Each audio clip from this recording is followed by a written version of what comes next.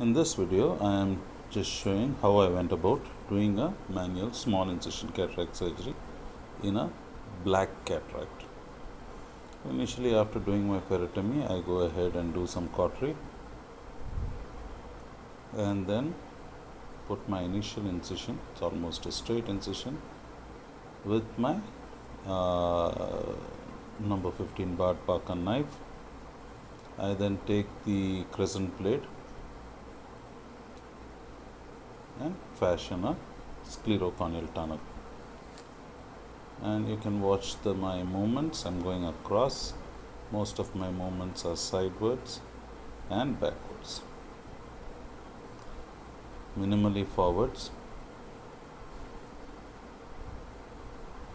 And this is uh, with the view not to prematurely enter the anterior chamber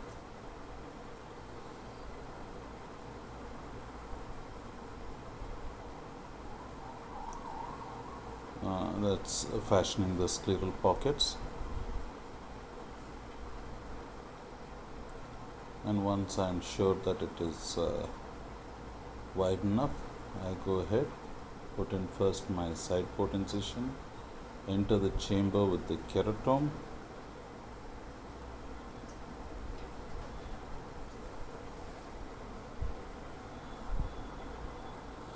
Put in some air and stain the capsule with trypan blue. I then expel both the air as well as the trypan blue with uh, 2% HPMC. Put some HPMC over the cornea as well. And then with my cystitome, there is a bent 26 gauge needle. I am aiming to create a large rhexis. This is a huge nucleus. You cannot perform an SICS creating a small rhexis. But it be a little careful. This probably uh, the zonules are a little weak. And that's why I'm having trouble actually controlling this rhexis. But once I have uh, finished the lower part, the upper part seems to be pretty easy. And that's a huge rhexis, more than enough. I then go ahead, take my keratome and open up the incision completely.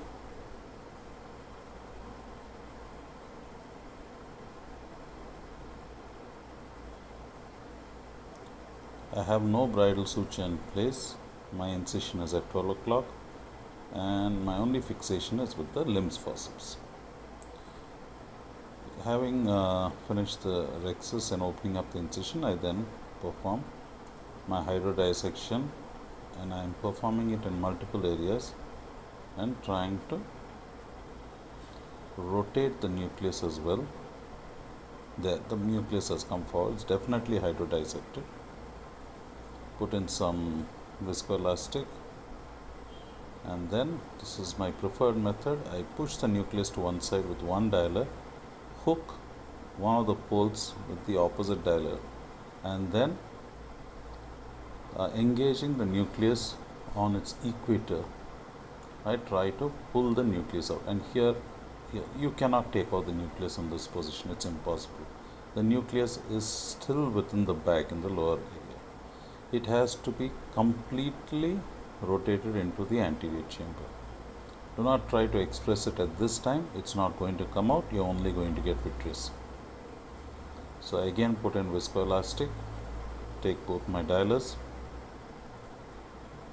Get to that uh, pole the equator equator and then keep rotating. Hand over hand motion a cartwheel like motion. And there I have brought it into the anterior chamber then give some posterior scleral pressure and bring it on. And look what a large nucleus that is. Now you try phaco on this. You're going to be in the eye for a very long time. And believe me you are going to produce collateral damage. So I think in a case in such a cataract it's better to go ahead with SICS it's less traumatic. It's uh, uh, it's faster with SICS it is uh, less traumatic as I said both for the patient as well as for the surgeon. The uh, cortex you have to be a little careful in these cases. Many times these zonules are weak so be very careful as you bring out the cortex. Don't bring out the capsule with it. However everything is going on well.